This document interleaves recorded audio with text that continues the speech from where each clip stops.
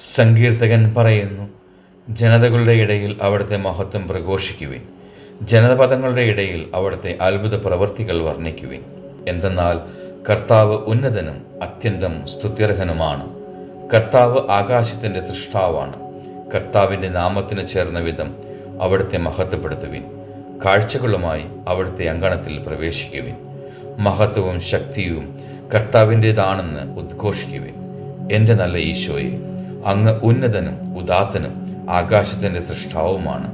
എന്നാൽ ഞാൻ എന്റെ സന്തോഷത്തിനായി ജീവിച്ച് അങ്ങയുടെ നാമത്തെ കളങ്കപ്പെടുത്തുന്നു. കർത്താവെ സൽപ്രവർത്തികളാൽ അങ്ങയെ മഹത്വപ്പെടുത്തി അങ്ങയുടെ നാമത്തിന് യോഗ്യമായി വിശുദ്ധിയിൽ ജീവിക്കാൻ വേണ്ട കൃപ ഇന്ന് എനിക്ക് നൽകണമേ. പിതാവിന്റെയും പുത്രന്റെയും പരിശുദ്ധാത്മാവിന്റെയും നാമത്തിൽ. ആമേൻ.